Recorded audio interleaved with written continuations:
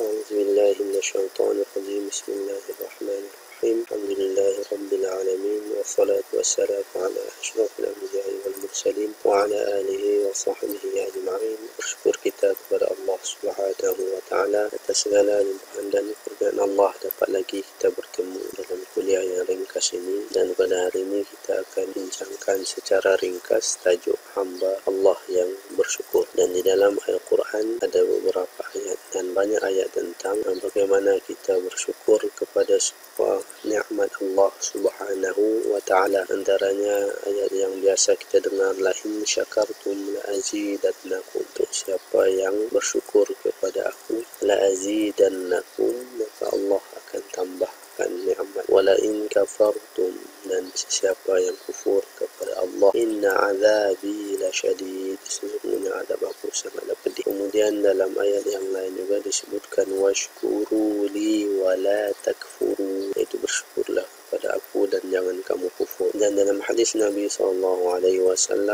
biasanya yang kita dengar antaranya hadis tentang bagaimana yang diriwayatkan diceritakan Aisyah Nabi SAW salat sehingga tatafattar qadamah tumit Nabi SAW kemudian Aisyah berkata kenapa kamu terus melakukan perkara begini sedangkan Allah sudah mengampunkan dosa-dosa kamu? Maka Nabi SAW sebut afala akuna abdan syakura? Bukankah aku ini ingin menjadi hamba Allah yang bersyukur karena Allah memberikan nikmat sangat banyak termasuk menjadikan Nabi SAW uswatun hasanah iaitu teladan yang sangat baik untuk diteladani dan dicontohi bagi sekalian manusia. Allah Taala juga jadikan Nabi sallallahu alaihi wasallam rasul amin, utusan Allah yang amanah dan juga junjungan besar yang merupakan rasul yang terakhir yang ke-25 khatamul anbiya sebagai penutup para anbiya. Kemudian dalam uh, perkara yang penting bagi kita juga mengetahui bahawa Allah Subhanahu wa taala bersifat asy-syakur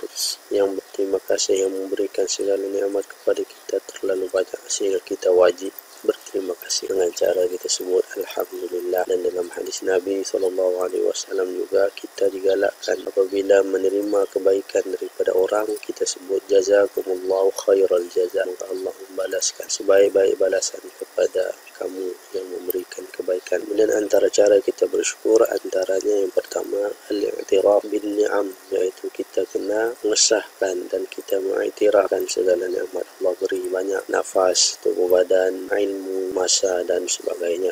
Kemudian antaranya al-iqraru ta'at banyakkan melakukan amalan yang saleh tanda kita bersyukur kepada Allah Subhanahu wa taala. Kemudian yang ketiga an-nazar ila aqal hendaklah lihat kepada orang yang bernasib susah daripada kita supaya kita berasa bernasib baik dan bersyukur atas nikmat yang sedang Allah beri. Berbanding ada orang yang lebih susah daripada kita. Dan itu di antara perkara yang akan menyebabkan kita lahir satu sifat mahmudah iaitu al-qanaah rasa cukup dengan apa yang Allah berikan. Sehingga kita sentiasa bersyukur dan sentiasa menyebut Alhamdulillah segala puji bagi Allah dan sebagainya. Itu di antara perkara yang penting untuk kita ketahui supaya kita mengetahui wajibnya kita bersyukur kepada Allah dan Allah sebut wa in ta'uddu ni'matallahi la tuhsuha. Sekiranya kamu ingin kira nikmat yang Allah beri kamu tidak mampu mengiranya kerana terlalu banyak dan tak terkira banyaknya nikmat Allah beri kepada kita. Wallahu alam. Wabillahi taufiq wal hidayah. Wassalamu alaikum warahmatullahi taala